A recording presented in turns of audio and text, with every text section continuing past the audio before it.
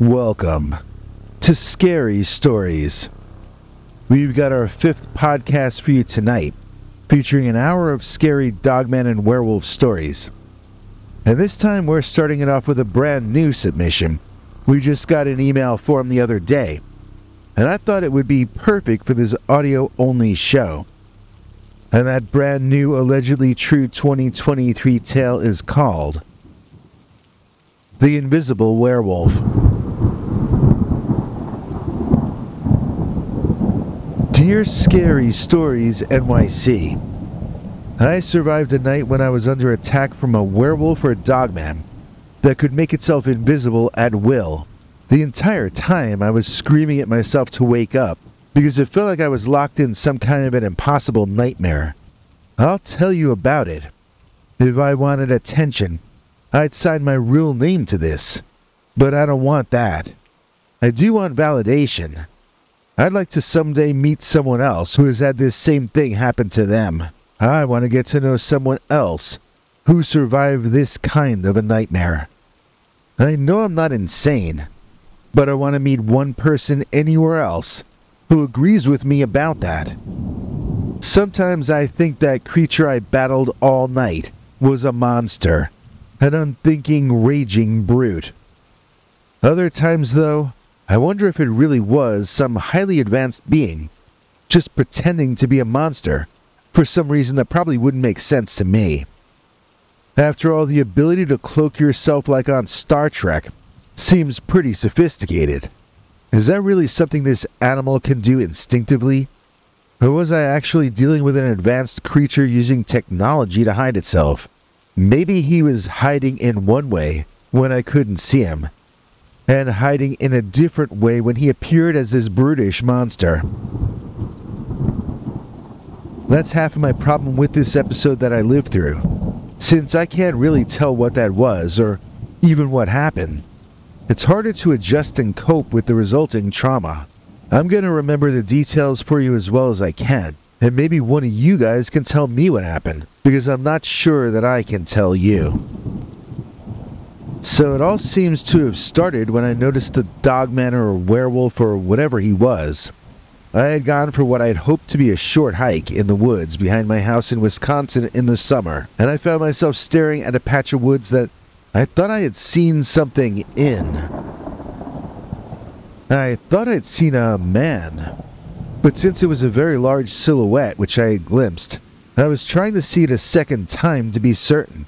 I didn't think there would be bear in that area, but it wouldn't be impossible, so I wanted to know for sure what I had seen before I took another step in any direction.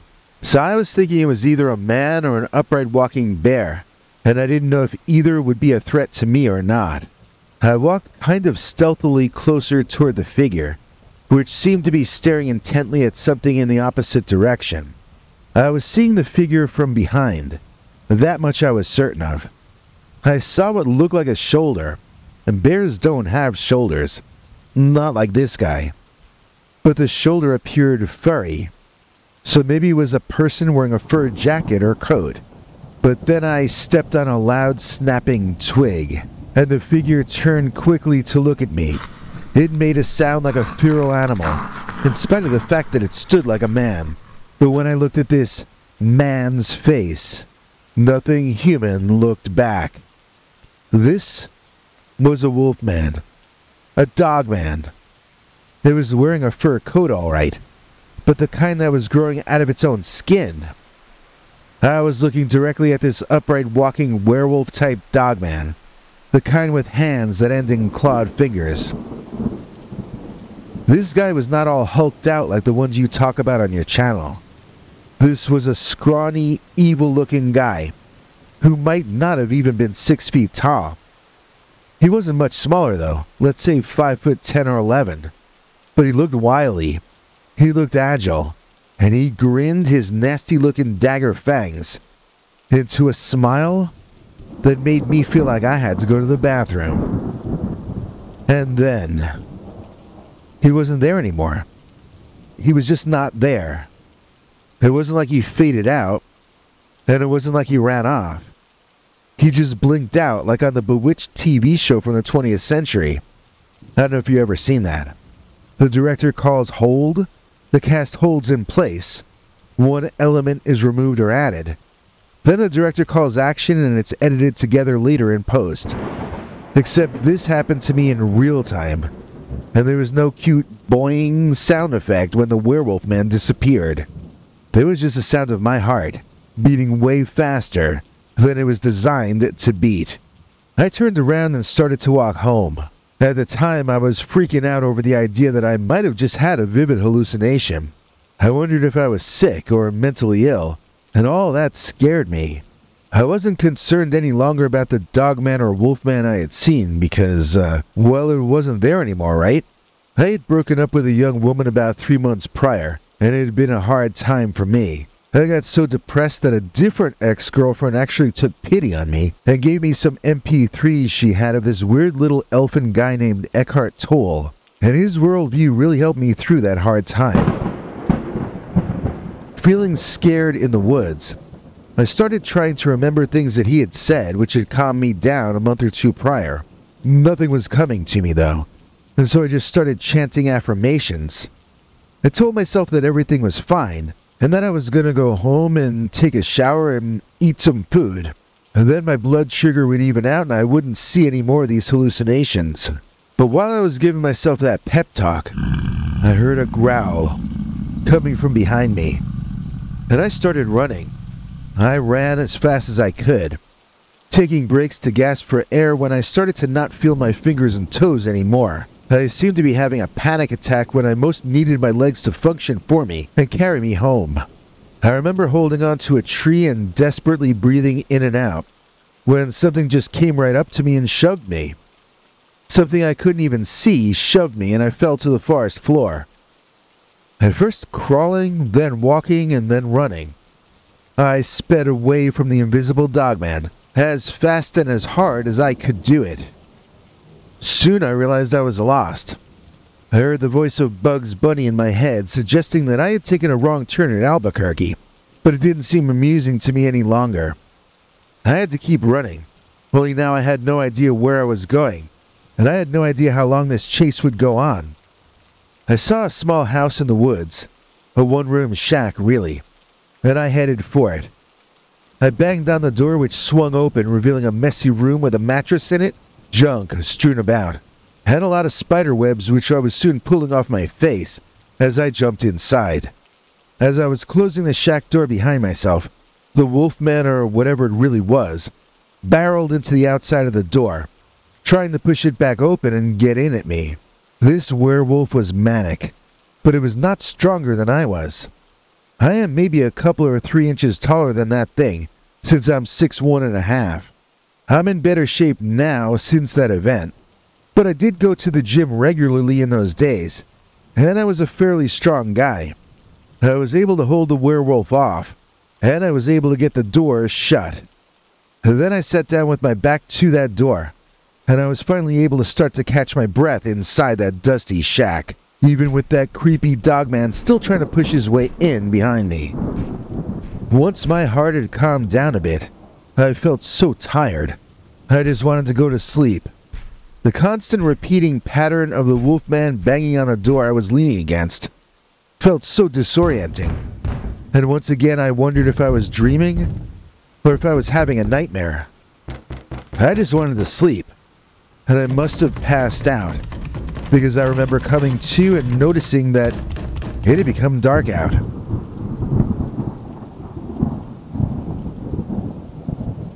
I sat there listening for a while, wondering if it would be safe to move.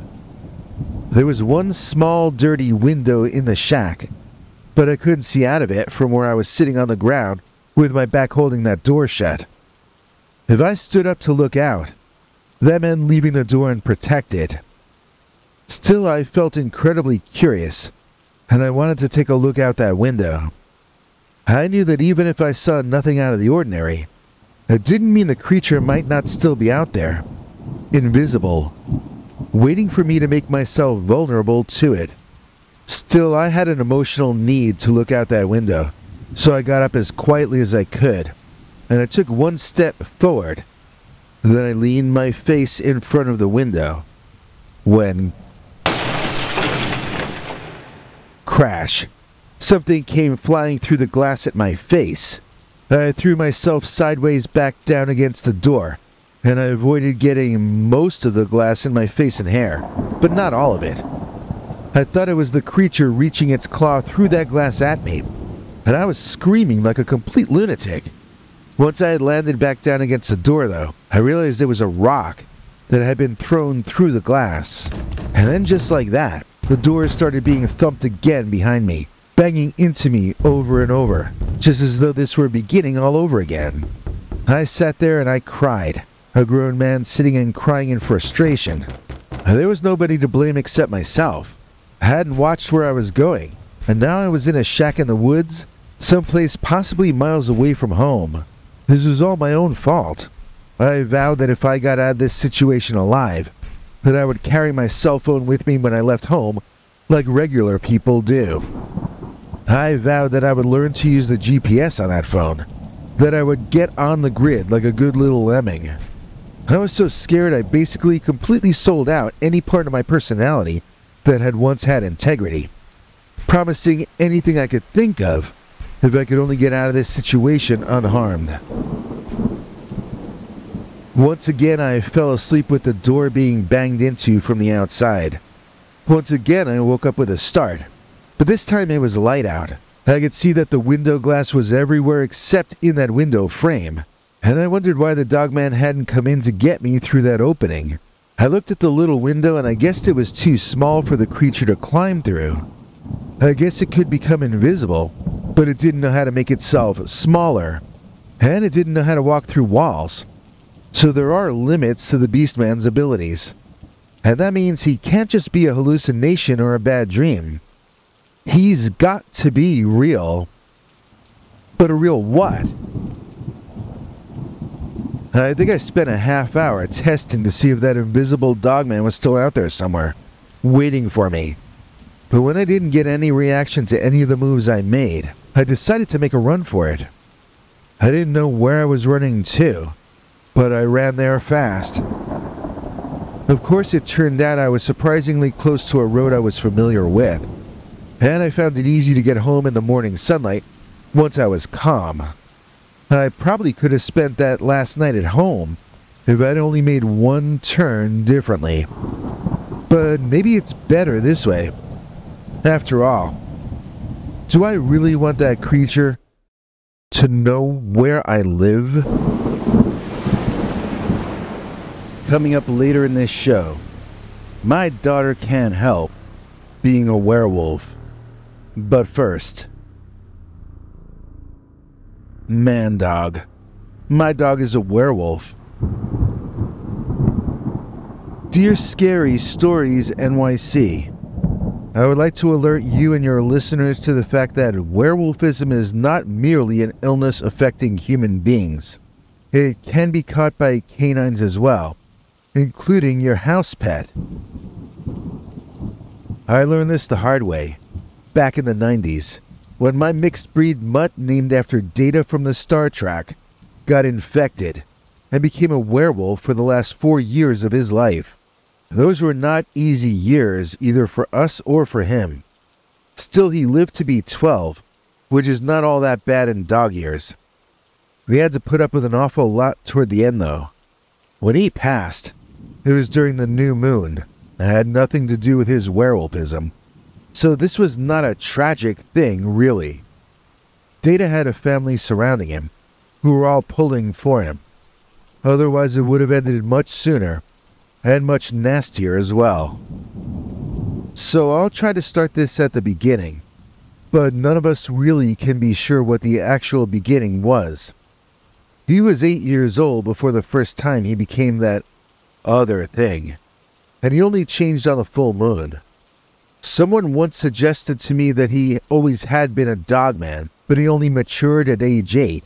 And that wouldn't explain why he only walked upright under the full moon, though. And that wouldn't explain why he grew human ears when he transformed, just as humans are said to grow dog ears when they become a werewolf. So, how did this happen to my dog Data? Was he bitten by a human being? I mean, we don't know that he wasn't. So, here is what happened the first time Data the dog transformed. I was inside the house and I heard the dog growling at something out back. Then I thought I heard something larger growling back at my dog. From the sound of it, there must have been a bear or a timber wolf or something big facing off against my pet. So I grabbed a baseball bat and I headed outside. But when I got out there, it looked to me like Data wasn't facing anything larger than a squirrel that was up in a tree. I was confused about where that growling was coming from. So I walked out there into the yard to see what was going on. Well, that was a mistake. Data turned to face me, and I screamed. His head wasn't his head anymore. It was sort of like a Skibidi toilet moment way back in the 80s or 90s. It was this guy's head on my dog's body.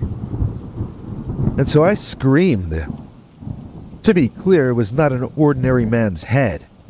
It looked like he was transforming into a man and then stopped somewhere about a third of the way through the process. It was horrible to look at. Sort of nauseating, really. His head had grown taller, as though his brain had as well. He had a forehead now, and he had human ears on the sides of his head. He also still had his dog ears on top, though. That's what I mean when I say he looked like he got stuck in the middle of transforming into a human. It wasn't just his head that was weird either. His arms looked much more human than before. Yeah, I said arms, but I mean his front legs. Now they looked like arms, and one of them was nearly bald. That made it look even more human than the other one, which was still covered in fur. Neither arm had a hand at the end, but the paws that were there were more like clawed hands than paws anyway. As far as I can remember, his back end was mostly the same as before, but he seemed far more energetic and he seemed far more feral and angry as well. I know I said he had grown a forehead, and I know it looked like his brain must have grown larger, but he certainly did not act any more intelligent. In fact, he seemed downright stupid to me. I called out to my dog questioningly, wondering what had happened to him.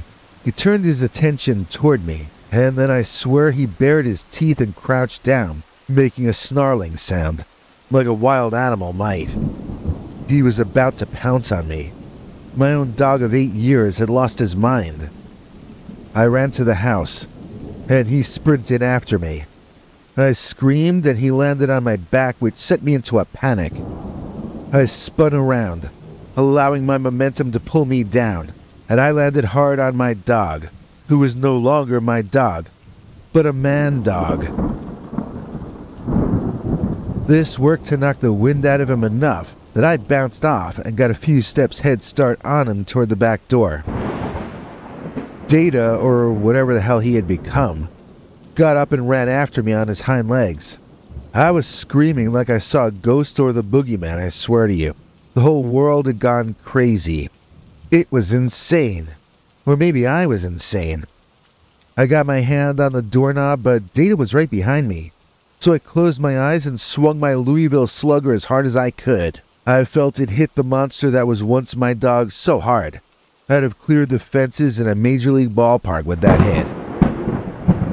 It only knocked that monster back a couple of steps, though, and he fell on his butt. That gave me time to get inside and close the heavy door behind me. Only a second before the man dog threw all of his weight into it. I hadn't even had a chance to lock it yet. But believe me, I double locked it once I could. The man dog ran off into the night, and I had no idea what I should do about it. Should I go out and hunt my own dog down? What if he attacked someone out there? I didn't know what had happened to him. Maybe he had some kind of rabies. Maybe I should call the cops about him. I talked about it with my wife, the one I was married to in those days.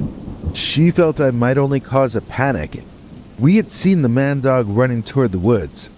My wife felt that he was out hunting smaller prey. She didn't think he'd run into town or anything like that. And if he did, half the town was carrying heat in those days, so the problem would get taken care of in all likelihood.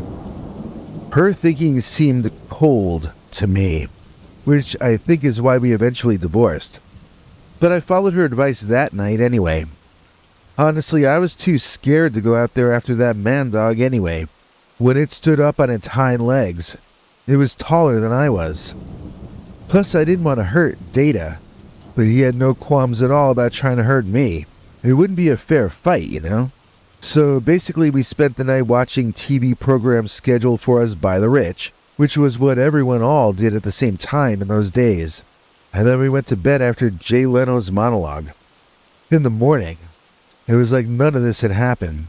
Data was at the back door looking like his old friendly self again, asking for breakfast. I was so happy to see him. I didn't think twice about flinging the door open and giving him a big hug. I threw his frisbee and we launched right into a game like nothing had ever happened. In fact, if my wife hadn't also seen him running into the woods on his hind legs the night before, I would have just decided that I was working too hard, and I had imagined the entire episode. But my wife had seen the man dog, and she ordered me to figure out what to do before nightfall brought the monster back. I rigged up our basement with a heavy duty chain and a collar that was supposed to be strong enough to hold a lion. I installed a new strong security door at the entrance to the staircase leading down to the cellar. Then, when the late afternoon came, I brought Data downstairs with some food and water and some of his toys, and I chained him up. Then we played games and hung out, and we both fell asleep together down there in each other's arms. I woke up with a blanket thrown over me, so my wife must have been brave enough to venture downstairs and check the scene out. Data didn't become the man dog again the next night either. I declared the entire thing a fluke, but my then wife noted that it had happened on the night of the full moon. I checked the calendar and she was right. So the next month, I started chaining the boy up in the basement two days before the calendar said the full moon was gonna be. Sure enough, on the third night, that dog turned into a freak all over again. I had to run upstairs and bolt the door from the other side. The most horrible noises came from downstairs, and my wife forced me upstairs to bed where I couldn't sleep. This was how we lived for the last four years of that boy's life. I wish I could understand how this had started. Then maybe I might have been able to figure out what to do about it. My wife suggested that I speak to the pastor at our church. Possibly the dog is possessed, she reasoned. So after church one Sunday, I made an appointment to talk to the pastor in private about it. When I explained that my dog transformed once a month into a werewolf man dog, he remained very quiet. After some extended silence, he suggested that we both pray for guidance on this subject, and then he opened the door for me to leave. When I got home, my wife told me that she'd received a panicked call from our pastor telling her that her husband had lost his mind and urging her to leave town before I got back home. Needless to say, we found a different church, and we never told that second pastor about our man dog problem. There was one time that I saw data change on a day that was not the full moon, and that is a story unto itself. He and I had been playing frisbee, and then we were sitting together on a warm autumn evening. It was sundown and just starting to get a little bit chilly. I was waiting to get in the mood to walk home for dinner when both of us saw this white light off in the woods. It was dusk, not quite dark yet, but not daytime anymore either, and I couldn't figure out what could be making such a bright light. I felt a sense of alarm that it might be a car or a motorcycle or something driving right at me in data through the woods. So I stood up, trying to see it better. When the light emerged from the foliage, I didn't see any vehicle or person behind it. I just saw what looked like a very bright, big light, and that seemed to be all it was. There was nothing behind it.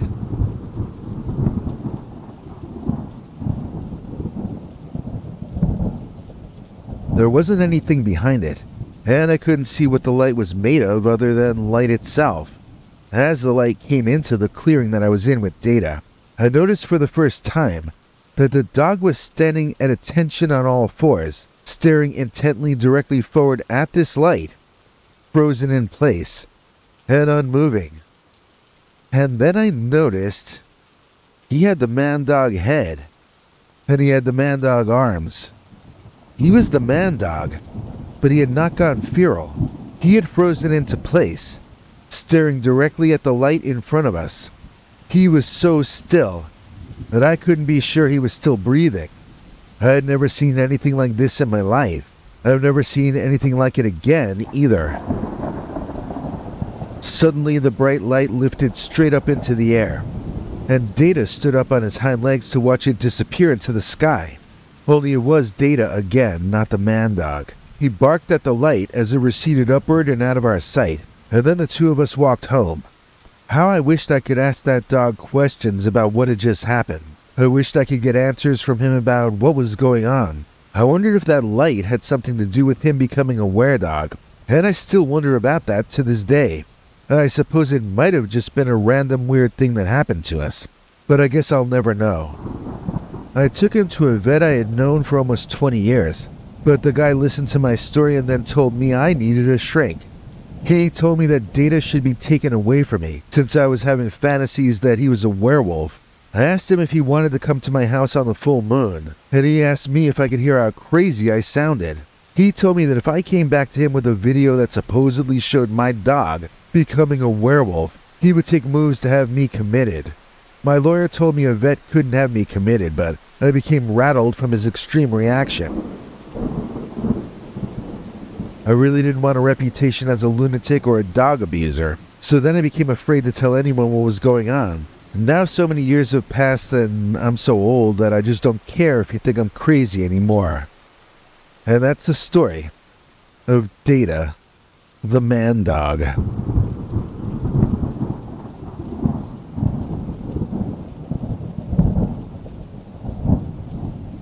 My daughter can't help being a werewolf. Dear Scary Stories NYC. I'm a man trying to raise a teenage daughter without her mother, who passed away some years back. It's the legacy of her mother that Stacy has to live with. You see, my wife was a werewolf, and now that Stacy is becoming an adult, she is following in her mother's footsteps, unfortunately. This girl was shy growing up, but she's practically a recluse now. She can transform two or sometimes three times a month, and it is around the full moon. But she can start to grow hair on her arms or her eyebrows thicken, or, or she even starts to get a sort of a five o'clock shadow just randomly, unannounced, and she doesn't even sense it happening. This can be a hard time for any young person, but a girl suddenly growing a beard randomly is a terrible setback to her social life, which hadn't even really had a chance to begin yet. I want to find specialists to take her to, but Stacy doesn't want to end up in medical journals and then history books as the freak wolf girl. I tell her that she'd be helping other girls like herself out, but that doesn't help. That's the kind of thing that matters to guys, I think. Stacy told me she wants to have a family of her own, and she wants to sacrifice for them, not for some random idea of other girls like her. She doesn't want attention. She wants love and a husband and children, but she's not going to get them if she's afraid to come out of her room. Stacy's still got half her senior year in high school to make up for, but she says she will get an equivalency diploma someday. Neither of us care about her going to college because, you know, we're not communists who hate America, so my only concern is helping my daughter find a way to meet other guys around her age that she can socialize with. Guys who are going to be men about her situation and not little babies. She's going to need a guy who's up to the task of being a husband to a woman who changes when it's the full moon. Well, I mean, I mean even more than usual. I have not had to lock Stacy up when she transforms.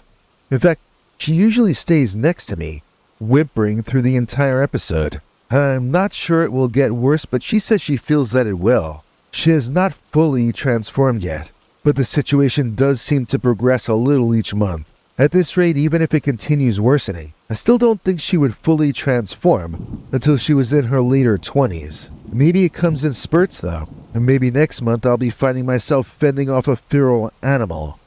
Or maybe next week. Or maybe never.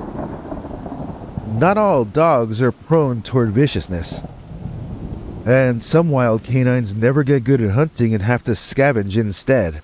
So even if Stacy does progress into more severe transformations as she moves into adulthood, I don't consider it a guarantee that she would necessarily have to be a nasty one.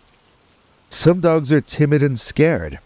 Have you ever comforted a dog during a thunderstorm?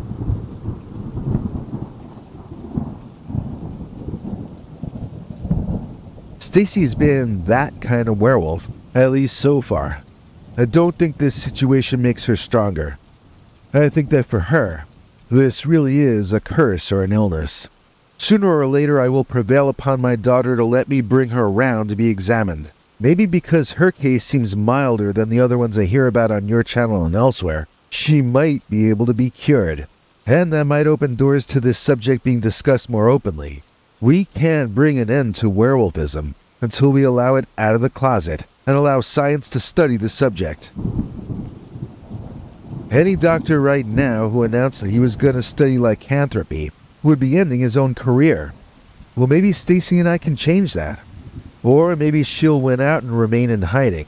In neither scenario does she get the family she wants, and that's what I would rather help her get. It's hard to know what to do when you really can't understand the situation you're dealing with, and the only thing I can tell for certain about all of this is that my daughter can't help being a werewolf. Hey, I just want to say I've been reading this fascinating book about the dogman and werewolves, written by the late Linda Godfrey. It's a real classic on the subject. I've noticed that there are some sharp discrepancies between her version of a certain famous classic dogman appearance in the 20th century and the History Channel's version of the same event. I'm working on a semi animated episode using maps and imagery to illustrate visually the two different versions as they're explained. Try to get closer to the truth than possibly anyone has ever gotten before. You know you can get the audiobook version of this important book for only $6 if you follow the link in the description, and you help out our channel if you do. And now for something completely hairy.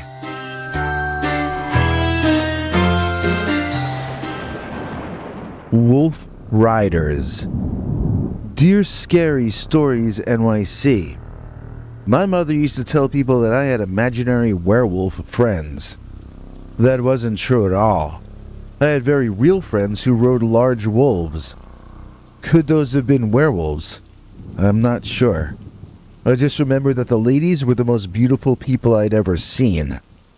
And the wolves were all taller than I was in those days. This happened during the three summers that my mother and I spent living with our elderly relative. I was a girl of 13 that first summer, far too old to be having imaginary friends.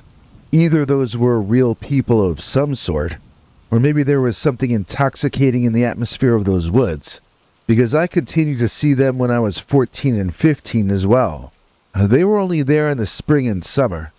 They left sometime early in autumn, and I don't know if they went south or just went indoors when it got cold. Our sickly relative lived off Chandler Hill Road, near Gaylord State Forest area in Michigan. When I say she lived off the road, I mean she lived down a dirt road from the main highway. In the summer, those woods were fairly impenetrable because of the overgrowth of vegetation. And in the winter, because of the snow and cold weather. If I'm 83 now, then that means it's 70 years since my first summer in those woods, and over 60 years since the house burned down. I'd advise you not to go looking for it. The last person I know of who did go search for the remains of that building told me he fell down into the basement before he realized he was standing right where the old house used to be. That must have been the late 70s, early 80s. I don't know if there's anyone left alive but me that can remember that there used to be a house back up there in that forest. The wolf riders never came too close to the house, to be honest. I would be wandering alone in the trees when we would come upon each other. The first time I saw them, there were a bunch of beautiful older girls, all standing in a circle around another beautiful young woman. They were all blonde and had an unearthly kind of beauty to them. When they spoke, with their strange accent though, their words were harsh and cruel. They each in turn pointed at the girl in the center of the circle and stated loudly that this girl had committed some offense. She had hoarded food, said one girl. Another pointed at her and accused her of being vain. Several of the others concurred on that accusation. The volume of surly comments grew louder, and they began speaking over each other. Meanwhile, the sad, lonely girl at the center of the circle was crying and whimpering, begging for mercy. I felt terrible, so I burst out of my hiding spot and I ran to her. I didn't know that young woman, but I was a kid and I felt sorry. I threw my arms around her and I asked them if they couldn't see that she was sad and sorry about what she had done. They all shut up for a second, looked at each other, and burst out laughing. I was confused. The girl they had been shouting mean things at joined in with the laughter. Then she told me that they were just playing Crow's Court, and it was her turn to get to be the bad crow. She complimented me for my bravery, charging out into a group of wolf riders as I had done. I asked her what she was talking about, and she walked me a ways further into the woods. That was when I noticed the large wolves. They must have been standing there the entire time, but I hadn't noticed them until they were pointed out to me.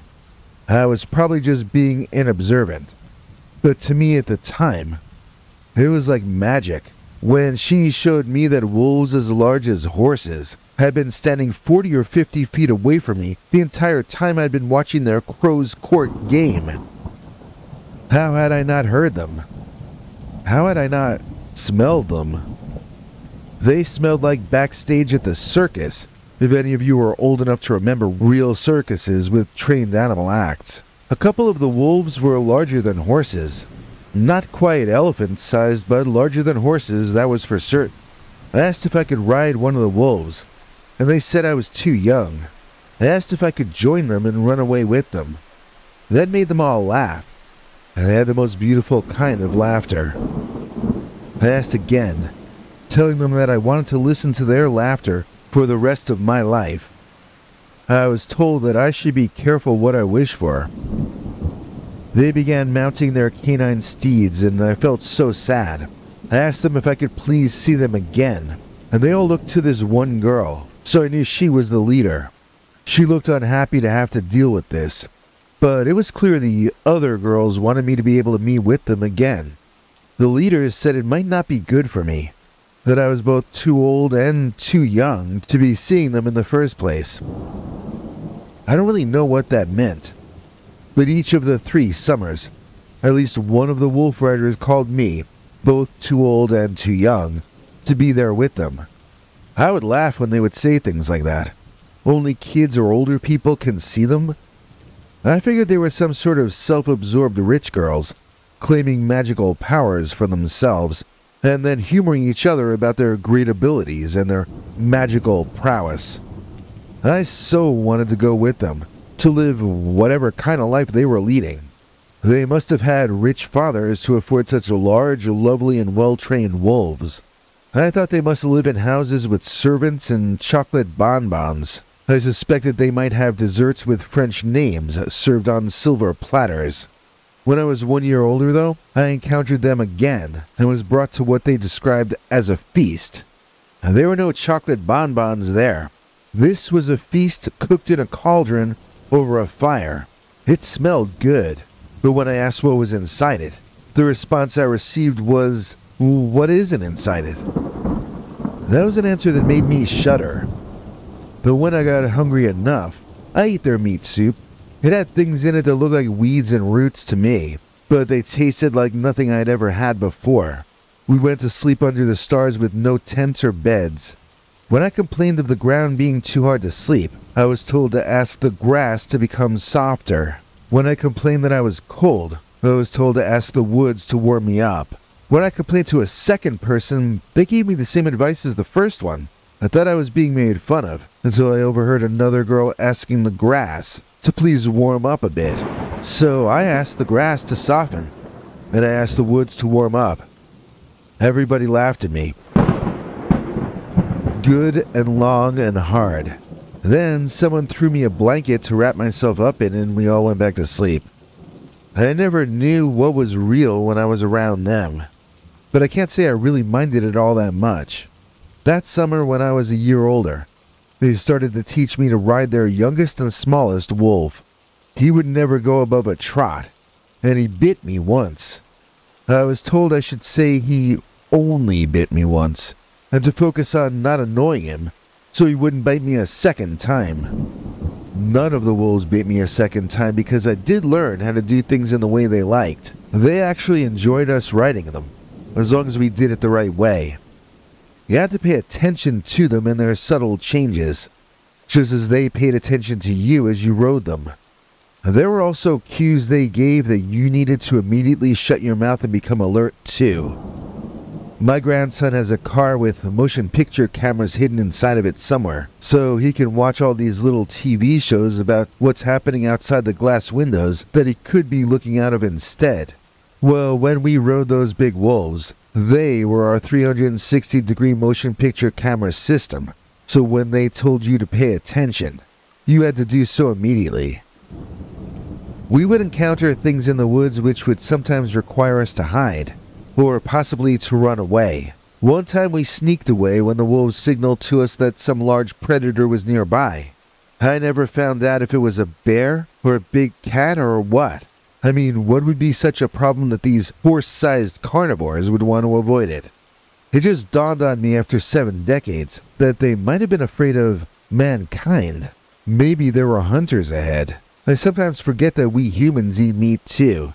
At least at the time I'm writing this, we're still doing it. When I was young, I always had hair that some people described as light brown and others called reddish blonde. These days they call it whatever name it says on the bottle, but back then my hair would be darker in the winter and blonder as the summer wore on. My family told me it was because I was out in the sun, but I felt it was because of those blonde wolf girls. Their wolves were blonde too. I had never seen that before. Even if they had been normal sized wolves, they would have been remarkable to look at. Their eyes were not pink, so they were not albino. They just had pale fur like polar bears. They were so soft to the touch, and I learned how to be trusted enough by them that I could brush them and delouse them. Laugh all you want. I knew that if they were letting me pick their ticks and fleas off, that meant we were friends. The last summer I got to see them went by so fast. It was all over by the morning. I had noticed the prior summer that when I would come home from seeing the Wolf Girls, more time would have passed than I had expected. I thought it was just me being tardy and getting lost in my fun times. Everyone else thought so too, and it wasn't a big deal. But then my last summer in those woods, the girls didn't just invite me to their camp. They took me away with them to show me their world. When they returned me the next morning, summer had gone. My mom screamed and cried when I showed up. She and our elderly relative had thought I was gone. They thought I was lost forever. You see, to them, almost two months had passed since they had last seen me. For me, it was only one night, maybe ten hours max. I tried to explain, and they tried to explain, but it was like we were speaking different languages to each other. I was banished from leaving the house except to use the outhouse, but I felt I could understand their reaction. My mother and our relative didn't even want me leaving the premises. They wanted me where they could see me. That was how they put it at the time. And they would stare at me, too, usually with baleful looks on their faces, shaking their heads with disbelief. Maybe I shouldn't have told my mother that I spent the night with the Wolf Riders, and that they took me to their home. The girls had warned me that time moves differently for them. I asked them to explain what that meant, but they just laughed at me and said I wouldn't understand. I remember telling them that I was old enough to get it, but they said our entire species wasn't old enough yet to get it, and that also seemed funny to the girls. My grandson refers to the Wolf Riders as living in another dimension. That doesn't really make sense to me, as it's not like we rode a rocket ship to get there. We just walked. We walked from the area behind my family's property down a path, a dirt road. It wasn't a yellow brick road to Never Neverland. It was just a dirt road made of dirt, and we walked on it. There were no flashing lights. There was no spooky mumbo jumbo. I didn't see reality fall apart and rejoin with itself. It was like a dirt road through the summer woods that led to the most beautiful place you can possibly imagine. I used to watch that program Fantasy Island because it reminded me of that valley. Well, also because I had a crush on Ricardo Montalban, but it was that Garden of Eden quality to the show that first got me to watch it. That was what it felt like in the place where those wolf girls lived. It felt fantastic. It felt wonderful, exhilarating, exciting. None of these words suffice. The air was better there. Everything was superior. But I would need a new language to explain it. I think I was in my 30s or 40s when VHS tapes came out, but for the first time, I had something to compare to the experience of being in that forest that night that lasted seven weeks. Unfortunately, now VHS technology is so old that I don't know if any of you will even know what I'm talking about. Nevertheless, I shall endeavor. And now, whether you remember or not, VHS tapes could be recorded on the 2 hour mode, or the 4 hour mode, or the 6 hour mode. You could fit three times as much stuff on the 6 hour mode, but the quality of the 2 hour mode was far superior. Well, our ordinary life is sort of like living inside the 6 hour mode, and when you step into the Wolf Rider world, it's in the 2 hour mode, and three times as real as what you had thought of as reality before. That's the closest I've ever come to really explaining what it felt like to be there with them that night. It was worth trading in the entire summer to get to experience that, as I now have a standard to hold heaven to after I die. It had better be at least as wonderful as the place the Wolf Riders lived in back then. The night the Wolf Riders brought me into their world was a storytelling night. They took turns telling stories they knew by heart. Some of them were history lessons about their tribe, some were entertaining stories about ancestors whose names I was unfamiliar with. That was the night when they told me the story of how they became an all female tribe. See, once long ago, they were a race of people not too dissimilar to us humans. They bred like cockroaches, I was told. That seemed very funny to the Wolf Riders. They started to take over that forest, and so the forest itself decided to turn their men into those giant wolves. So then I laughed at them. I knew about the birds and the bees by my third summer in that place. I knew they couldn't have babies if they had no men. They would go away after their generation died off without men. But that is why the forest made us immortal, was my answer. This time the expected laughter didn't come. They weren't kidding. They and their wolves didn't need babies to carry their race on. They just weren't ever gonna die, you see. And it was the matter of factness about it that eventually let it sink in. This was the one time they weren't getting around. The trickster trick this time was that they actually meant what they were saying. They were expecting to live forever. Somewhere in another reality that you could walk to on foot in only a few minutes, they were expecting to live forever. Just a short walk from our backyard were eternal beings, riding huge blond wolves that were once their husbands a long, long time ago, in another life. But then nature itself decided it should be different. When I told my mother all this, she told me to be quiet and do my chores. So I didn't know that my time visiting their world with those girls was my last. And I suppose I'm lucky I didn't know about it. We had fun and talked about things we would do again the following summer. My elderly relative passed on that next winter, though.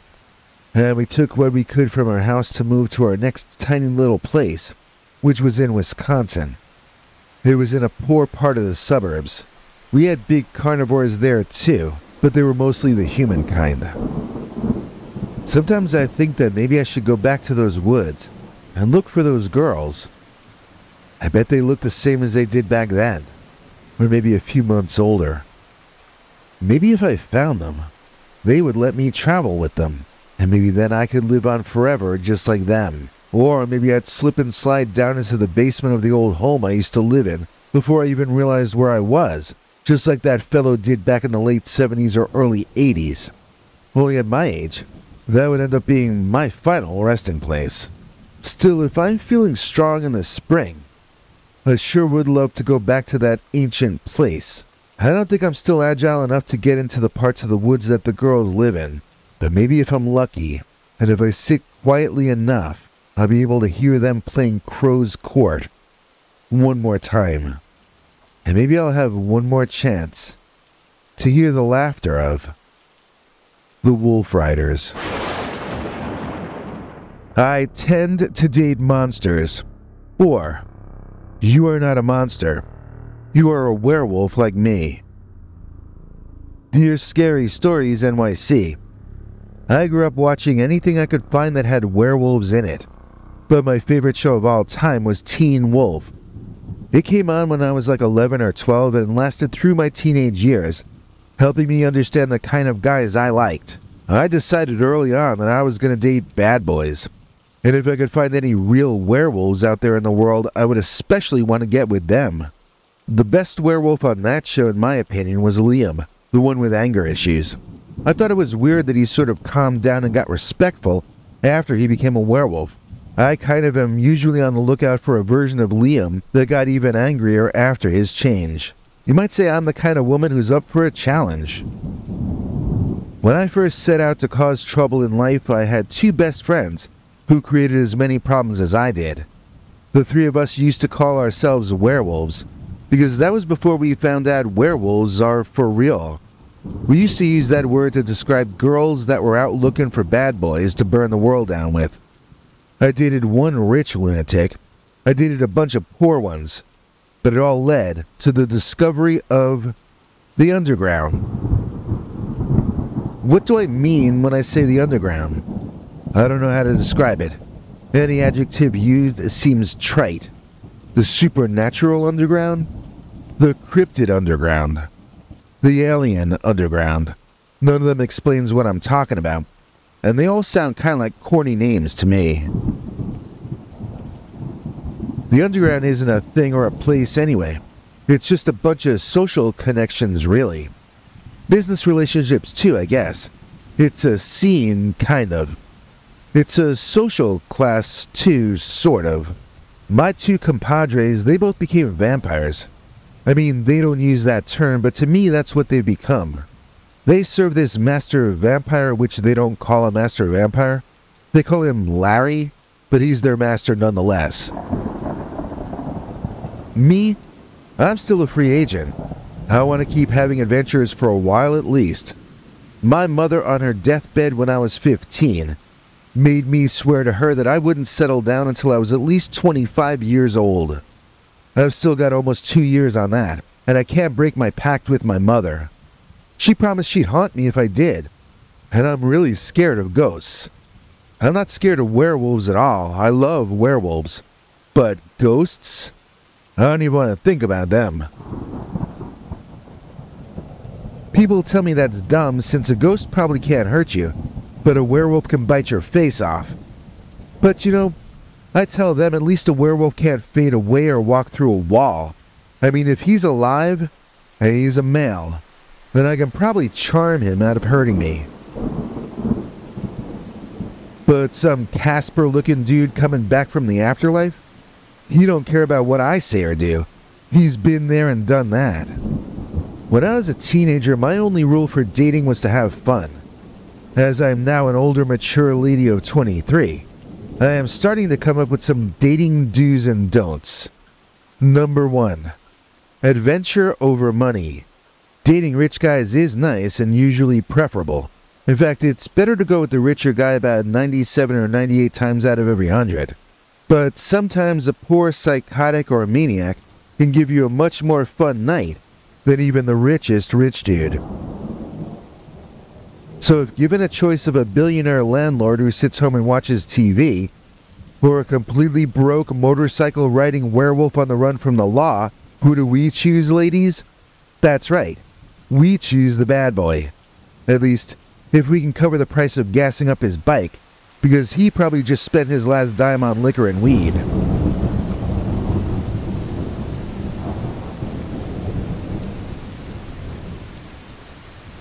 Rule number two is never forget rule number one adventure over money. If I'm not narrowly avoiding death three or four times a week, I need a change of venue, you know what I'm saying? At least, that was what I was like until I met this guy that I'll get to later. He's the first guy I like that's more civilized than I am, but he's a werewolf. I can't explain him, so I have to leave him till later. He makes being nice seem like it's not lame. Let's call him Galahad, because he could have had this gal already if he wasn't so polite. He's the exception to all the rules. But first I want to tell you about some of the more hardcore werewolves I've almost lost my life with. I'm going to start with a werewolf I dated who stole from convenience stores. Let's call him Robbie McRobertson. The first time I went on a date with Robbie, we stopped at a convenience store to get some money and liquor. I thought he was gonna pay, but instead he wolfed out right in the convenience store guy's face, right? Becomes the werewolf right there in the store. The guy's pants get stained dark and his eyes roll back in his head. Then he faints and hits his head, and we hadn't gotten any money yet. The register was locked and we didn't know how to open it, so we left there with nothing but the drinks and some snacks. After that, I suggested we try it a different way that didn't involve fainting. There's that old Linnea Quigley movie. She's one of my idols, Linnea Quigley. She did this thing in that one movie where she wears a short skirt and she bends over to look at magazines on the low shelf, right in front of the guy working the cash register. He can't take his eyes off her merchandise. And meanwhile, her friend loots the store and the clerk never sees it. Or maybe it was two clerks, but you get the idea. So I did the Linnea move on the old Middle Eastern guy working the register, and Robbie filled up a bag with beer and food. And then, when he was ready for us to leave, Robbie brought a little package of like yodels or ding dings over to the guy, and once the guy opens the register, Robbie wolfs out, and that guy pees himself and faints too. At least we got the money that time. I was sick of paying for our dates myself. I spent a week once with a psychotic werewolf who was driving across the country. That was how I ended up in Wisconsin in the first place. I'm not originally from here, but I've adapted quickly. Call me Linnea quickly, because it was the monster men around here that caught my attention. The man wolves out here are looking for more long-term insanity from their women than back east. One night stands and two-week relationships are over. Some of the wolfmen I met were more clinging than a wet rag. Sure, they try to boss you around, but they can't hide their neediness. I want a guy who doesn't need me, who couldn't care less about me, who could do better than me. Why else would I literally date monsters? The werewolves I met and came to love in Wisconsin were not all living around Milwaukee or going to the underground clubs in that area. Some of them lived in the country and barely socialized at all. I don't know why I saw werewolves as city creatures. They really are more suited to living in the woods. I had always seen the woods as sort of lame before. I mean, it's so freaking quiet there. What could be more boring than quiet, right? And it's like so dirty. I mean, the ground is literally dirt. At least when there's garbage on the ground in the city, you can sweep it up. In the country, it's just like dirt. Good luck sweeping up the dirt when there's just more dirt underneath that dirt. I mean, the country seems completely unnatural and weird to me. Because I grew up in Brooklyn. And also, another thing I'm learning about the woods and the werewolves that live in these woods here in the Midwest is that they are serious.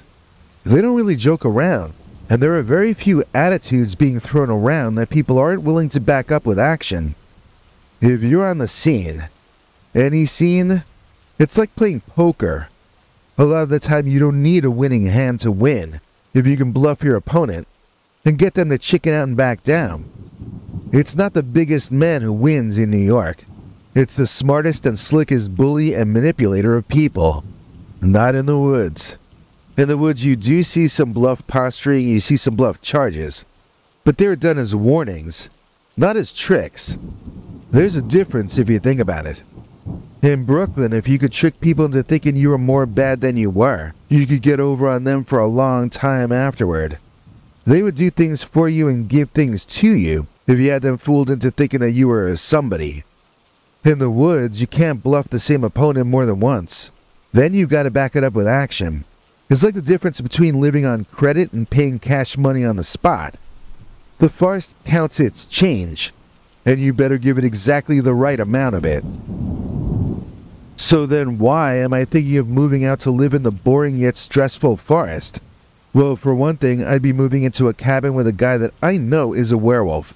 So it's not like I'd be making a wise or smart choice. It's still life-threatening and dangerous. So it's not like I'd be acting mature. I promised my mom I wouldn't act mature till I was 25. No, I think I've definitely found a way to both settle down with a man and place my life in unnecessary and pointless danger.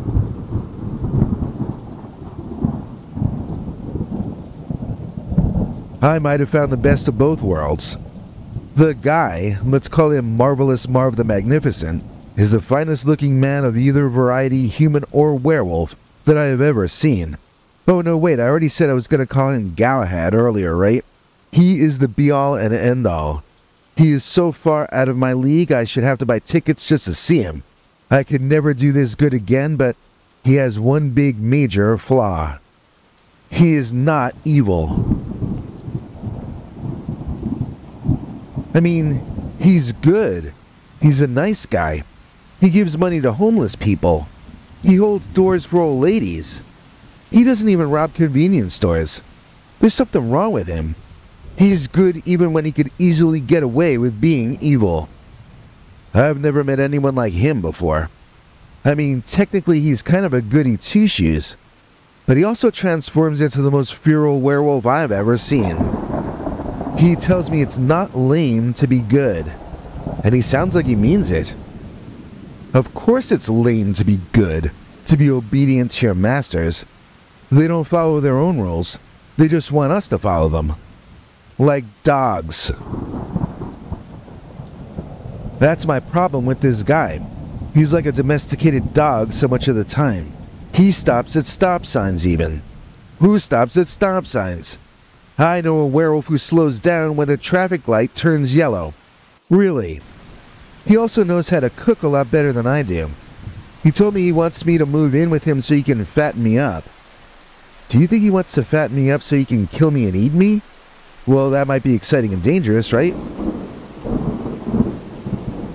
But who am I kidding? He's not a cannibal as much as I wish he were. He's a goody two-shoes werewolf. If I stay with him, I might start to become good like he is. I might start giving money to those less fortunate. I might start smiling at neighbors. Who smiles at their neighbors? Galahad smiles not only at neighbors, but he smiles and greets total strangers while walking down the street. Then that night he becomes a werewolf and hunts animals down in the forest, eating them raw after the catch. My Sir Galahad. I do enjoy visiting him. But could I really give up my social life and live in the woods with a guy who doesn't even use foul language? I've searched his computer while he slept and I couldn't even find any porn on it. What kind of guy doesn't store porn on his laptop? My Sir Galahad, that's him. The most boringest, muscle-bound, gorgeous, hulking monster of a werewolf I ever met. The bigger problem with this guy, bigger even than the boring, quiet woods he lives in, he gives me this feeling I never had before. He makes me wonder if I'm good enough for him. I usually feel like I'm too good for any guy. This way, when we break up, I don't even care. With this guy, I don't know if I can be good enough to deserve him. And then if we broke up, it would actually really hurt. It would confirm that I wasn't good enough for him, and I might never really get over him. That's a terrifying feeling. What if I had to get serious to keep this guy? Having adventures with werewolf trash is exciting, but this guy's more like werewolf nobility. At least he behaves in such noble ways. And he keeps surprising me with how elegant and civilized he can be. Not just for a werewolf, but in general. He's read all these old poetry books and he can remember long passages of the most incredible poems. I don't even like poetry, except when he starts chanting it. Then it sounds amazing. He can say it in this way that's so much more musical than when I say the same words back. Maybe I should break the unwritten rule of life and be honest to this man? I promised my mother I wouldn't settle down till I was 25. If anyone would understand, this goody two shoes werewolf guy would. Then maybe he'd want to have adventures with me for another two years before we got serious. But if I tell him that, he might just dump me and grab some other girl ready to settle down. I might never find a guy like him again. This might be my one chance for storybook happiness. Anyway, my main advice for dating monsters is to not get too serious. And here I am thinking of breaking my own rule. This is the kind of problem I have to deal with because I tend to date monsters.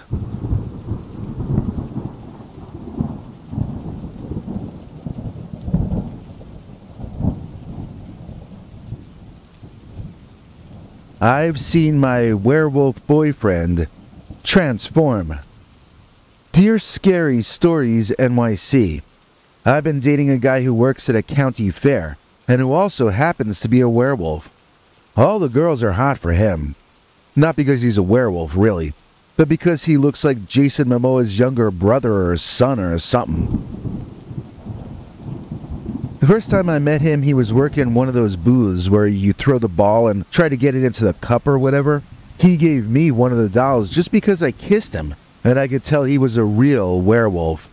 I ran my tongue over his fangs when I kissed him. He didn't even have to tell me that he was a werewolf. I told him. He laughed and said he might be a vampire. They have fangs too. I reminded him that it was daytime and the sun was out. He thought I was stupid, but I know vampires can't work as carnies. They would turn to dust like in the movies. But werewolves, they don't have a problem with sunlight, see? So when I told him that, the werewolf could see right off the bat that I'm smart, and he knew not to mess with my head. I had him figured out inside of two seconds. So I started to ask him if he could make me a werewolf too, and he said he could do it, but it would cost a lot of money. I asked why it would cost money, when he educated me that you need tiger's blood in order to make someone else a werewolf. And it's got to be blood from a living tiger. So it has to be drawn out of the great beast a little bit at a time over the course of months. So this carnival Jason Momoa told me I have till the fair comes back to town in the summer to raise a thousand dollars. He said that would give him enough time to draw all the tiger blood we would need for the transformation ceremony, and that the thousand dollars would reimburse him for the cost of getting that tiger blood. Don't worry, I know he's not scamming me. I know he's a real werewolf, because he let me see him transform. Well, actually, he made me look away, so I didn't actually see the change, but when he let me look again, he had much larger fangs in his mouth than before. I had to look away, and then he transformed back to human.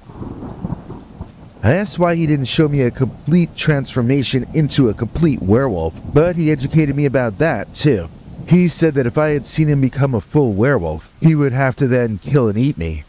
And if I got eat, then he wouldn't be able to make me a werewolf this coming summer. He told me that he's changed a number of guys into werewolves before, but I'll be his first female werewolf, so I'm sure this is just as special to him as it is to me, and it's very special to me. I'm not allowed to tell my parents or family or the police about what we're doing. Because apparently he says werewolfism is not allowed in our state. Or changing people into werewolves is illegal or something. I forget exactly how he put it. Now, I haven't talked to my parents in so long I doubt I'd remember their voices, even though they sleep in the next room over from me. We communicate through Failbook, and all we do is say happy birthday to each other once a year. If I did tell them that I met a guy who looks like Aquaman that's gonna turn me into a werewolf, I doubt they would even look up from their stupid phones anyhow. I'm still a few hundred short of the thousand dollars I need to raise, but it will be worth every penny to become a werewolf. And I know it's all real because I've seen my werewolf boyfriend transform.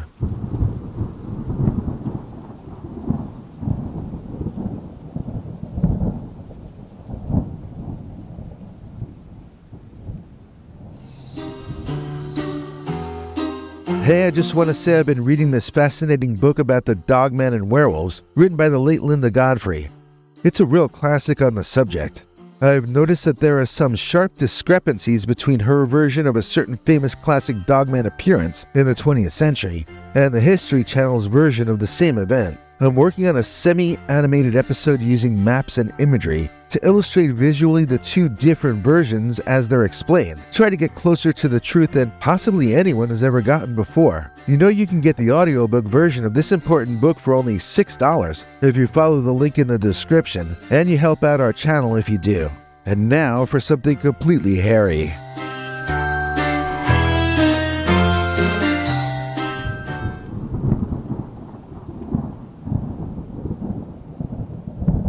And now I'd like to end by thanking our channel members and PayPal Club members.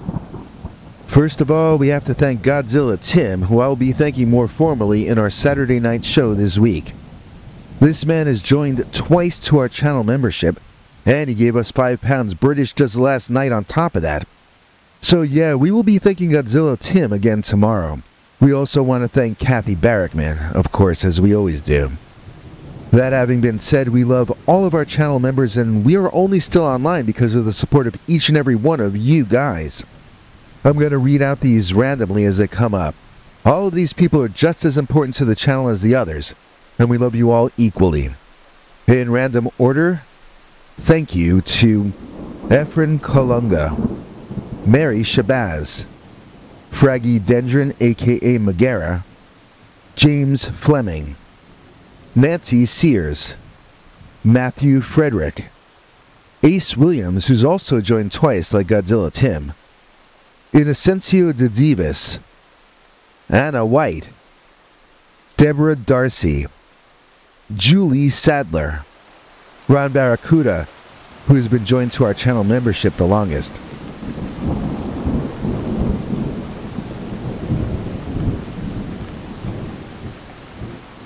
Blue Cruise, Super Spark, Victor O, Helena 66, Esteban P, Angie K, Roy Faulkner, Stel Cordova, Michelle Rich, Adam Friday, Hagridella, Jim Mooney, Deborah Ariola, Scott Fuller, Chris Nihis, Stacy Miller, Tiffany Walsh, Melissa Kutch, John Smith, Dave Rabbit, Victor Collado, Fuzzy Lou, The Ender Werewolf, The Zoomancer, Michael A. Bell, Linda Hagler, Sarah Jones, James Tucker,